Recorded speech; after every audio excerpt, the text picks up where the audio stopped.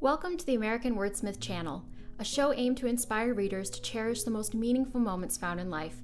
Each week, I will be discussing an aspect of my business and the writing life. Mission Statement I do calligraphy to share the beautiful details found in copperplate script.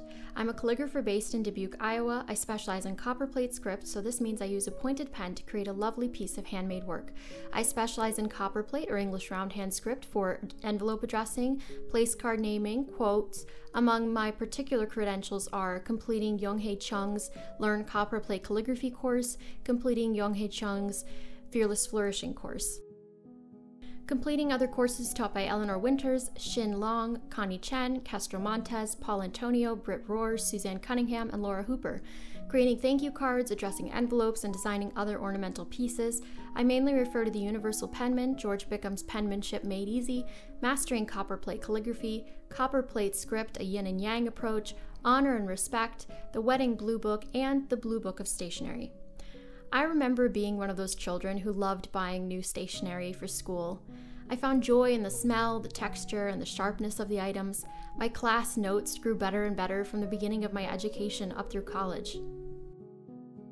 I made my handwriting look consistent, my highlighting logical, and my notes filled up the pages of my notebook evenly. Feeling my pen glide on the pages of a notebook brought me a pleasure that I had started to forget about once I began working a day job where the world of the computer screen ruled. But one day, I remembered the feeling of a pen digging into paper. After researching some of the most popular calligraphic styles, I repeatedly came back to the beauty of copperplate script. To me, it matched the elegance, grace, and beauty of classical ballet which I had been doing since I was a child. I have studied the script in depth for about three years. I am excited to share with people a little piece of the beauty I see in this wonderful script. My services currently include envelope addressing and place card naming, which is most commonly found in the wedding industry.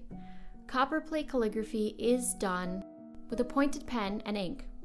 So I sit down at my desk that is solely prepared for me to write at, with my ink to the left of me and my pen holder to the right.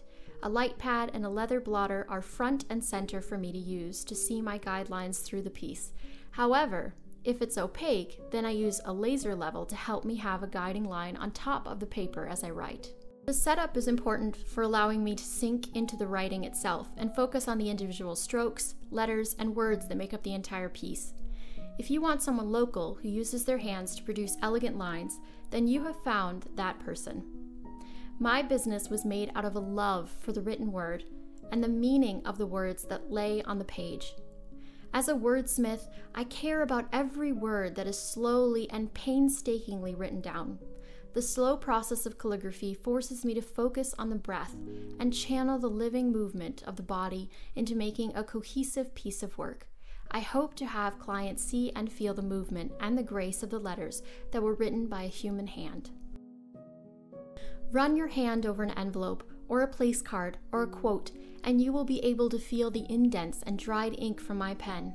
Take a moment out of your day to look at the gold ink in the sun and at different angles to see it shine.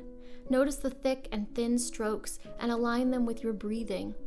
Appreciate the rare specimen you hold in your hands of another person who took the time to spell out your name, one letter at a time. Grateful to be spending that time alone with you.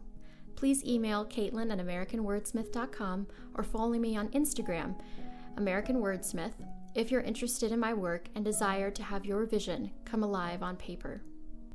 Thanks for joining me this week on the American Wordsmith channel.